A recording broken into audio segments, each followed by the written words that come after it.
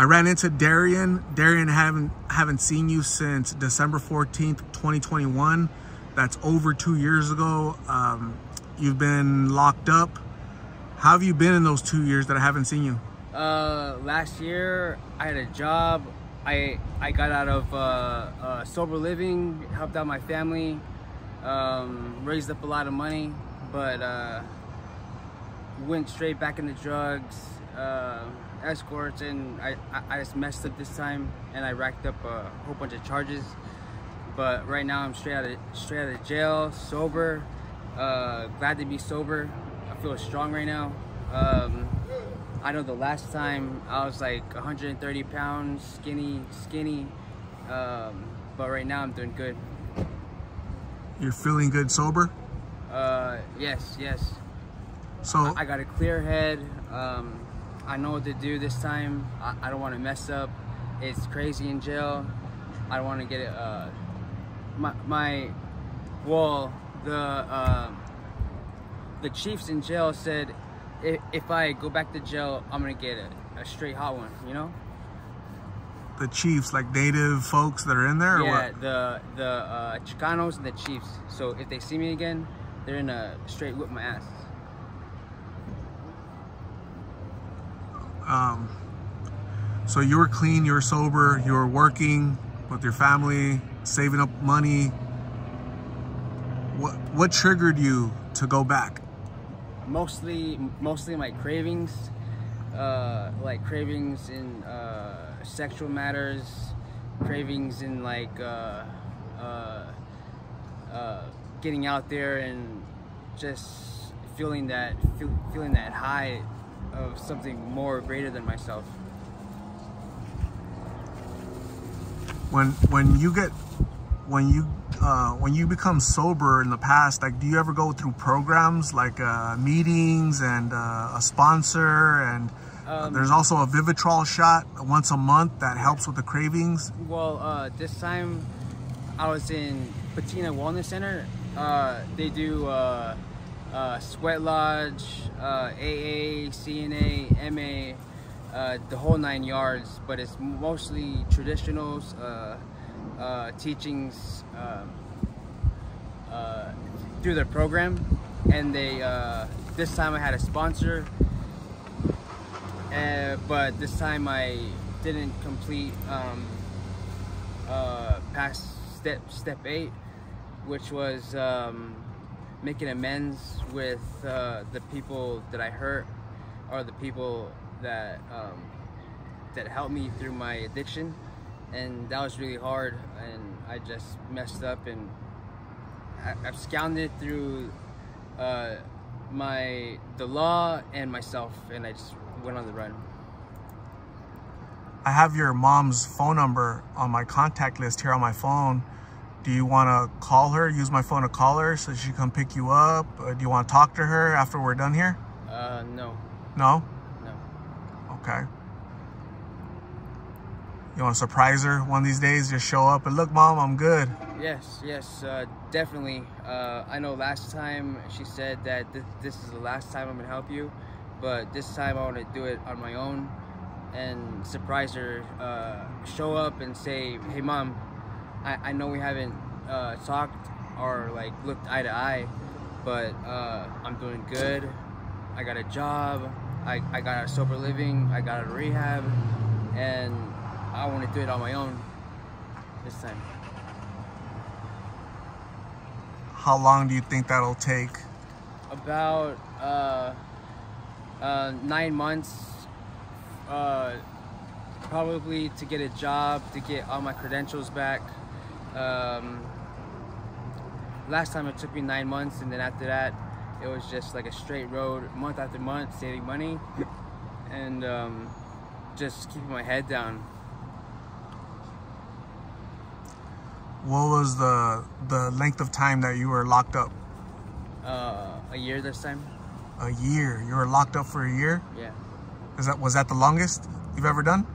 Uh, yeah. if you keep going back, they're going to keep giving you longer time, right? Yes. Year and a half, two years, three years, oh, right? Oh, yeah. Well, next time they said I'm going to get three years. So it, it has to work this time for you, right? Because yes. that's. This is my last chance with my family and the law and probably with myself because one of these days I might just overdose and that's that, you know. you're too young for that, don't you think? Yes, uh, right now I'm 26. I've been in and out of uh, like homelessness, uh, being on my own since I was 16. So like about eight, like 10 years, I've been out here. So, but through that time, I had a place, I had friends. Now I have nothing. Are you- are you sick of this yet or not yet? Uh, I'm like 80% sick of this. Some days I get excited about this life, but most of the time it's just it's just bull because most of the days I have nothing in the morning, at night, and it takes a, a long time to have someone look at me and feel sorry for me just because I'm out here. But no one shouldn't do that because I'm a man and I should be strong for myself and have have something for myself, you know, to support me and to get get by day to day. Can you uh, make us understand why what what would be exciting about being out here? Uh, just the individual uh, contact between uh, the opposite sex and probably friends that would help me and uh, either through my addiction or just uh, just casual day-to-day talk. So you kind of like the social networking, the the the, the friendships Oh, yeah. out here. Uh, The- the the connections, uh, getting known, uh, getting around, um, knowing my uh, surroundings, where to pick up, or just just just friendships, you know. If you, when you're sober and living at home and working, are you less sociable? Uh, yeah, I'm just uh, to myself.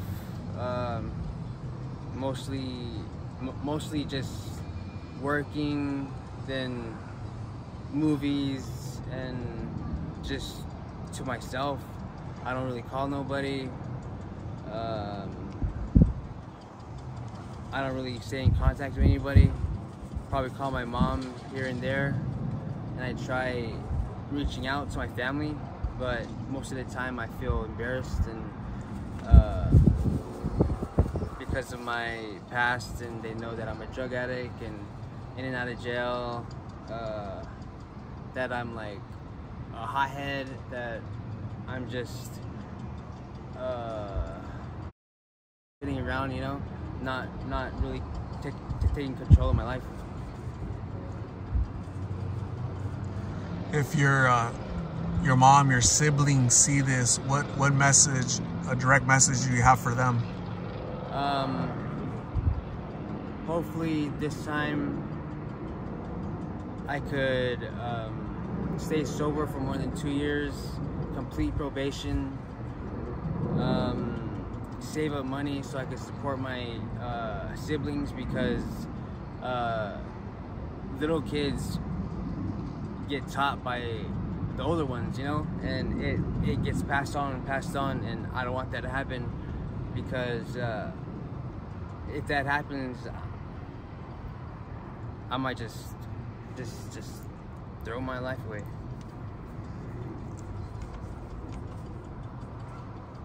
If you pass away out here, where do you want to be buried?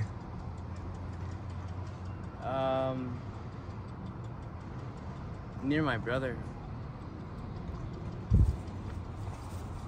You have a brother that passed away? Yeah, um, like about 20 years ago, he died from SIDS. He was four months old, and he's buried uh, right here, um, right here on uh, Van Buren. So I, I, I want to be placed right next to him.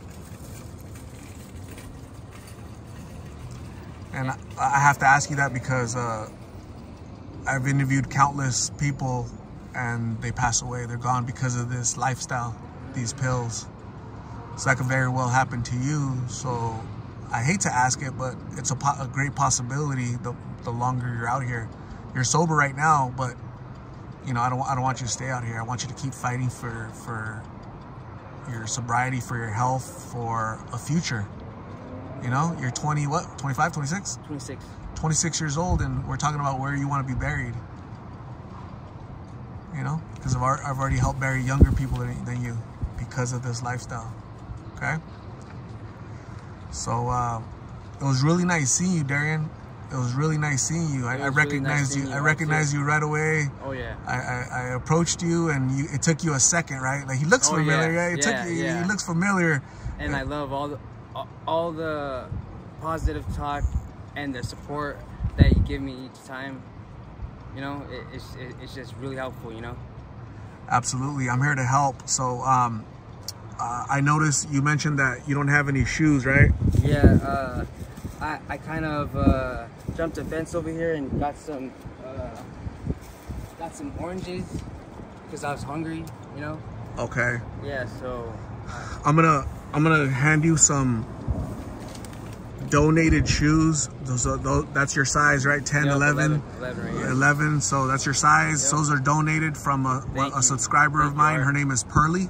Thank you, Art. Yep. Uh, thanks, Pearly. Absolutely. So you need those shoes, and um, please get better. Please get well. Uh, you deserve the world. You, you, you're a really good kid with a big heart. You're just lost and confused. Continue to fight for your life, okay? Okay. So stay safe. God bless. I'll go get you some food, and we'll talk soon, okay? All right. Thank you. Thank you, Art.